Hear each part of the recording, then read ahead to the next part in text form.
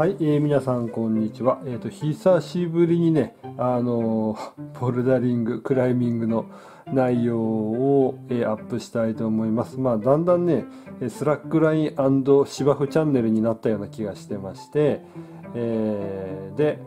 まあ、顔出ししてね、喋ってもいいんですけど、うん、ちょっと恥ずかしすぎるのと、うん、まあ、あの部屋の周り汚いんで、えー、すいません。あの、またホワイトボードで、え、失礼いたします。え、まあ、あの、このね、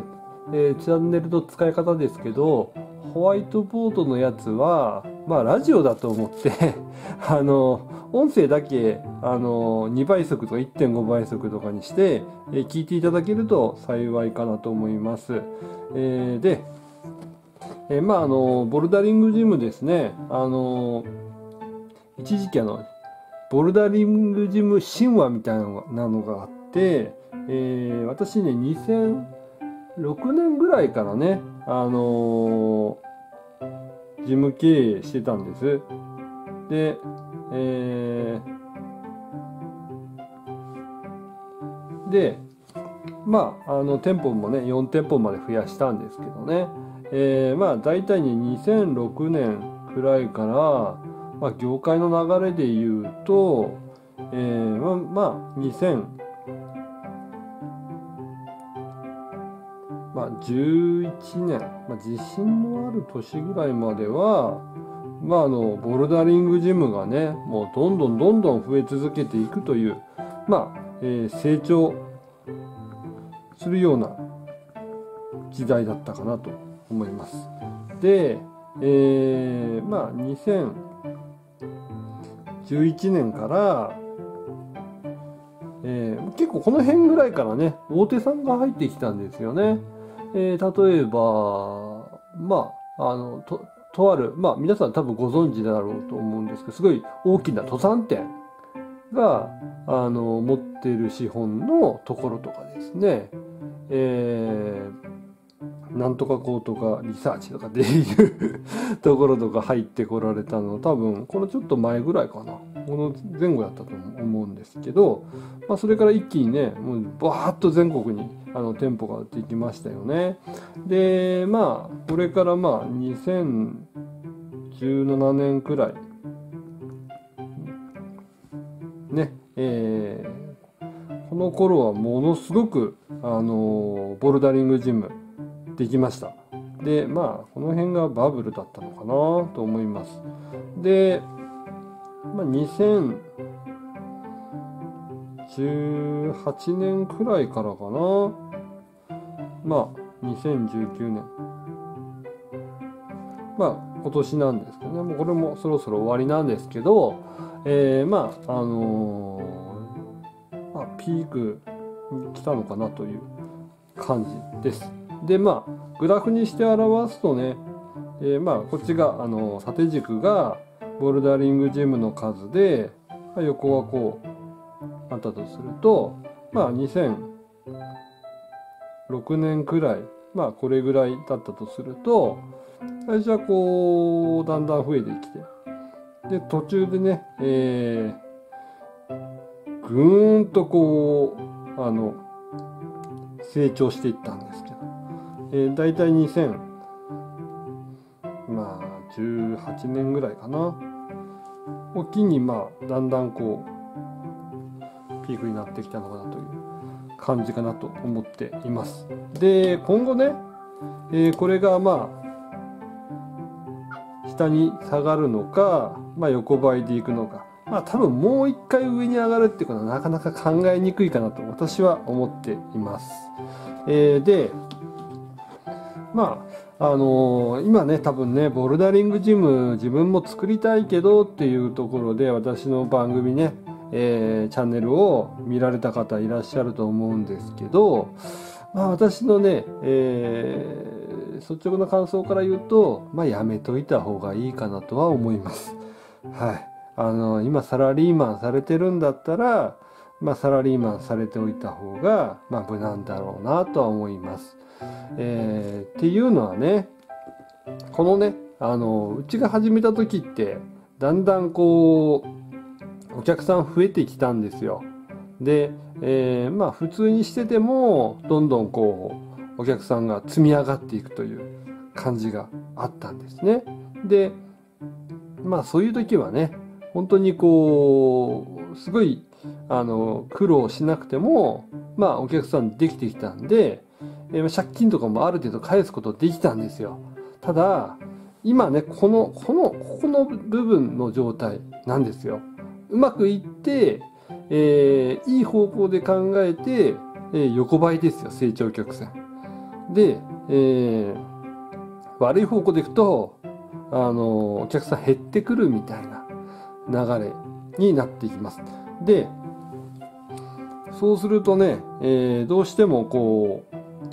客さんが例えば、えー、今年、えー、1ヶ月に今月100人まあのえ、ー、とまあ延べ、えー、例えば、えー、100人来てくれたとして、えー、まあ1人当たり客単価で、えー、1300円払ってくれて、えー、これ13万か。ちょっとこれだと、あの、暮らしていけないですけど、これだったとします。で、えー、来月ね、これが、まあ、えー、120人に上がるとかなれば、あのー、同じ1300円でね、と、どんどんどんどんこう、あのー、返していく原資になるんですよね。えー、で、これがね、あの、だんだんこう、ここの部分が、80人になるとかって、えー、なってくると、これだんだんだんだんこう、厳しくなっていきますよね。えー、なので、あの、やっぱり借金を返しながらこの少なくなっていく局面ってむちゃむちゃきついんですよ。で最初設備投資がいる、えー、そういう事業ですので、えー、まああのー、やられる方、まあ、止めはしないですけどやられるなら慎重にと、はい、は思います。あのやっぱり借金してそのねストレスむちゃむちゃありますよ。ね本当にねもう返せなくなってたら本当首吊りたくなる飛び降り自殺したくなるぐらい、えー、大変なんですよねだから、まあ、そういう思いしてくれ、ね、しない方がいいので、えー、ぜひあのよく検討して、えー、まああのされるんでややったらやってほしいと。であとねあのー、とあるあの大手ショッピングモールですね、えー、これがモールのまあ愛というグループ。まあまあいやわかりますかね。あのー、まあ愛愛は書くのやめとこう、えー、であのー、結構あのスポーツ店を持ってて系列のところでね。で、えー、2016年か2017年頃から参入してきたんです。で、えー、ここ、まあ、えっ、ー、と、大体ね、あのー、ショッピングモールがあって、えー、店舗の片隅というかですね、ところで、まあ、目を引きたかったとかあったんだろうと思うんですね。えー、30から40坪ぐらい。で、えー、まあ、壁の長さは多分、横幅でえー、15メートルから20メートルくらいで、ね、えー、こう、L 字にこうなってるような壁を作って、傾斜はまあ、そんなにないやつですね。えー、まあ、100度とか、110度とかね。あとは垂直がずらずらずらーっとなってるような壁で、これ上から見たところです。すいません。上から見たところですね。えー、で、やってたようなところがありましたけども、私はもっと伸びると思ったんですけどね、あのー、多分ね、あの、一、えっ、ー、と、位置取りっていうかですね、あのー、まあ、クライミングの世界上級者中級者、まあ初心者みたいな、いらっしゃいますよ。で、その中で、えー、結局ね、多分ね、もともとね、多分ここは考えてなかったんだろうと思ってます。ここはね、多分最初から狙ってなかった。これはこれぐらいわかりますよね。多分中級者もまあ、まあ、狙ってはないけど、まあ少しは来てほしいと思ってたんじゃないかなと思います。で初心者をここをターゲットにね、えー、思ってたんだと思うんですけど、やっぱりね、えー、こういうショッピングモール系のところでやってて、資本むちゃむちゃ持ってます。な、多分、総売上だけ何兆円とかじゃないですか。何千億とか何兆円とか、多分、えー、の、えー、系列グループなんで、もう銀行からむちゃむちゃ安くね、お金を、えー、まあ、融資してももらえるから、むっちゃ経ったんですよね。多分、最盛期は30ぐらいいったのかなうん、30ぐらいいったんだと思う。30店舗ぐらいあったと思うんですけど、ね、日本全国に。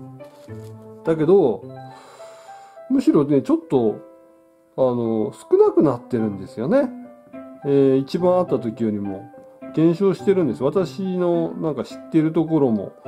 えー、の、あれ、なくなってるみたいな感じなんですよね。で、えっ、ー、と、ここね、多分ね、弱点だったのが、お店のその